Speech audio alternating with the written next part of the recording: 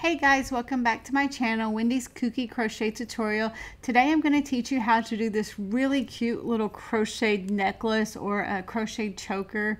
Um, all you're going to need is you're going to need your crochet hook and what I'm using is a four millimeter crochet hook and I like using the shiny yarn so I'm going to use the shiny yarn and then um, all you need is some scissors to do this with and um, make sure when you do it um, that if uh, you use a different kind of yarn than I am that you're matching your uh, crochet hook to your yarn size and it'll tell you on the packaging of your yarn. So first thing I'm going to do here is I'm going to make a slip knot and if you don't know how to make a slip knot I will put that in the description below um, so you can figure out how to do that.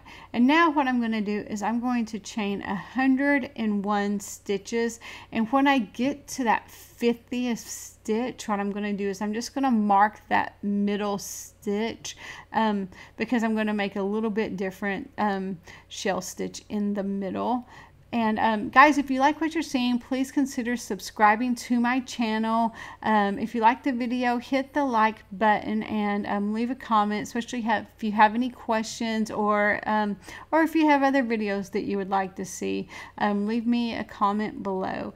And here I'm just doing the 50. And then what I did was I didn't have my stitch markers with me, so I just cut a little piece of yarn there.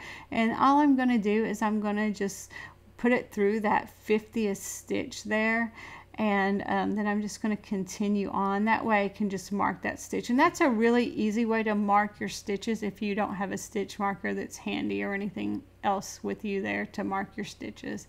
So now I'm just going to continue on and I'm going to do my next 50 chain stitches. And then after I get this 50 done what I'm going to do is I'm going to do a slip stitch in that second chain from my hook and I'm going to show you how that is. Um, also most of what we're going to be doing here is slip stitches and um, chain stitches and then um, double crochets so link that video in the description below or all of those videos in the description below. So now I'm done with my um, chain stitches so I'm going to work in that second stitch from my hook. So that stitch right there, and I'm going to slip stitch in that second stitch from my hook. So not the first one, but the second one. So there's, and I'm going to do that 15 times. So I'm going to make 15 slip stitches on that chain there. So just, again, I'm going to do 15 slip stitches on the chain. And I'm just working down that chain and then after I do my 15 stitches, what I'm going to do is I'm going to skip two stitches.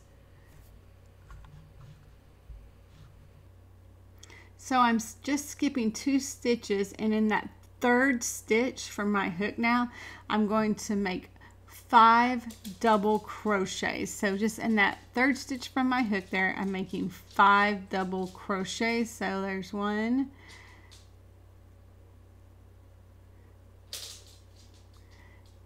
two,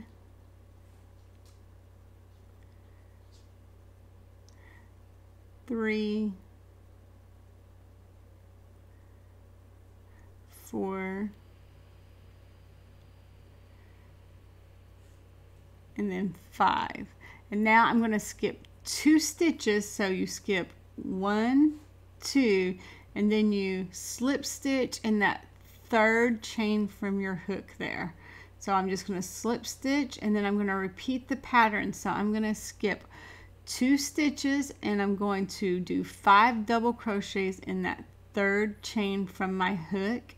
And I'm going to do that six times total. So I will have a total of six shells in that chain there. So, and again, I'm just repeating that pattern. And really what I'm doing is I'm repeating that pattern until um, I get to the middle stitch that I marked. And when I get to that one, it's when I'm going to change it up just a little bit. And it's going to be the one, it's going to be the one that you do right after that middle stitch. And so here again, I'm just repeating what I was doing before. So that's I skipped two there and now I'm skipping two and I'm going in that third one and I'm just going to do five double crochets in that third from my hook. And then after I'm done there I'm going to skip two of the chains and do a slip stitch in that third. And then I'm going to skip two and then do five double crochets in the third. And then the five that cluster of five double crochets is your shell. So just doing the cluster of five double crochets and then I'm going to skip two and I'm going to slip stitch in that third one. And then I'm going to continue skipping two and then doing the five double crochets in the third and I'm just going to keep on doing that. So this next one, what I'm doing is I'm going to skip two and then I'm going, I'm going to skip two there and here what I'm doing is I'm slip stitching. And now I'm going to do three double crochets and then I'm going to chain one and do three more. And there I was just counting so I'm going to skip two. And in that third one I'm going to do three double crochets chain one and then do three double crochets. So I'm just doing one two and then three. That's my three. And now what I'm going to do is I'm going to chain one then after I chain one, I'm going to do three more double crochets all in that same um, chain stitch. So that's two there and one more. And now I'm just going to repeat the pattern again and I took my stitch marker out. So I've got six regular shells and then I've got the the uh, seven there or the seven stitches there. And, and, that middle one what would look really cool with that is if you put something like maybe a little pendant or something like that in there. That would be cool. Now I'm just going to repeat what I was doing before. So I'm going to skip two I'm going to slip stitch in that third and then I'm going to skip two and then I'm going to do the five shell. I'm going to do that to the last 15 stitches. So again I'm just doing my five double crochets right here into that um, third from my hook that third chain from my hook. And then I'm going to skip two and work a slip stitch into that third from my hook and now I'm going to skip two and work the five double crochets into the next um, into that third chain stitch. And then I'm going to repeat that pattern. And I'm going to have um, six on one side six on the other side and then of course that larger one in the middle.